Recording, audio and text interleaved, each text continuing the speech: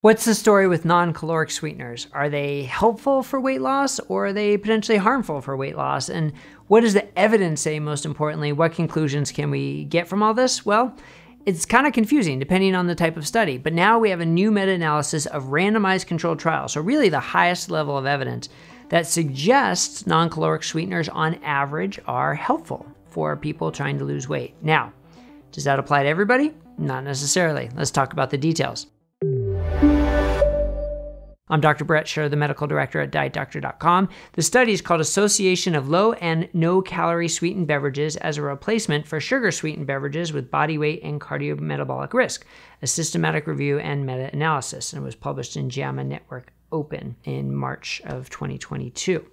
Now, one reason why it's confusing what role um, non-sweetened, uh, sorry, non-calorie sweeteners um, what role those play is confusing because when you look at observational data, uh, a lot of the studies will suggest that intake of non caloric sweeteners is associated with higher BMI or higher risk of diabetes. But again, that's association, not causative. And you can really try and back it up logically and say, well, people who are trying to lose weight and are obese and have type 2 diabetes are probably counseled to get off the sweetened beverages, the sugar sweetened beverages, and instead do use non caloric sweeteners. So that's a perfectly reasonable um, analysis of that observational data, but you don't know one way or the other. That's the weakness of the observational data. So this study looked specifically at randomized controlled trials, so much higher level.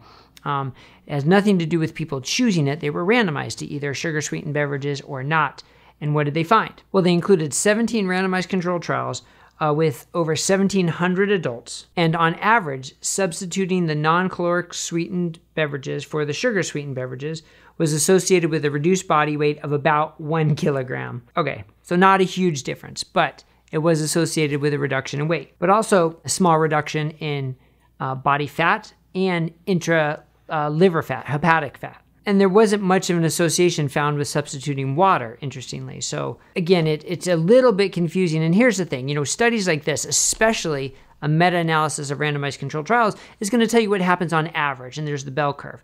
Now, here's what's not really picked up in this type of a study is the, the personal experience, because I think clinical experience and some evidence clearly shows that some people are influenced more by sweet taste than others. And that's one of the slippery slope things about the non caloric sweeteners. Any sweetener, for some people, is going to just hit the spot and they're going to be fine. They're going to scratch their itch for their sweetener, so to speak. Um, they're going to enjoy it and they're going to move on. Some people, it's going to light up their dopamine center and their brain's going to want more. How do you predict which one you are? I don't know that there's any way to predict it except based on your own personal history and based on your own personal experience. So, this is one of those things where you need to know yourself. You need to know your own response and reaction. But I think we can say in general, having a non caloric sweetener is certainly better than having a sugar sweetener when it comes to weight loss and metabolic health. Obviously, there's other concerns about chemicals and um, you know processed fake. You can call it fake um, industrialized products that you're drinking, cancer risk. All those things have been brought up before, um, and there really isn't a, a definitive conclusion on that. So that's where I would advise just avoiding it altogether. But for some people, that doesn't work too, right? Some people really want, they don't like their either unsweetened iced tea or their just their water. They want something that to really kind of hit that itch.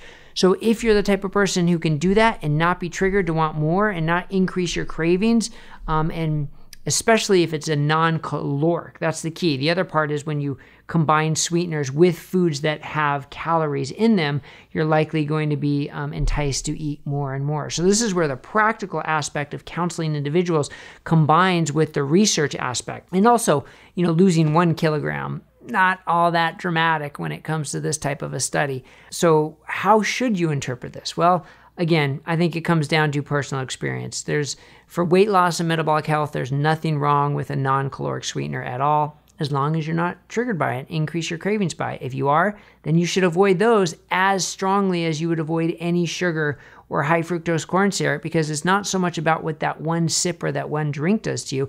It's about the the cravings and the triggers for everything that follows after that. So so know yourself. You know, know how you respond. That's a very important part of being on your own health journey. We can give you as much general guidance as we can, but part of it comes down to knowing how you react to different things individually. Now, the last part to mention are all sweeteners the same? No, they definitely aren't. And we have a whole educational evidence based guide at dietdoctor.com about sweeteners, uh, about non caloric sweeteners. And, you know, erythritol and allulose and monk fruit.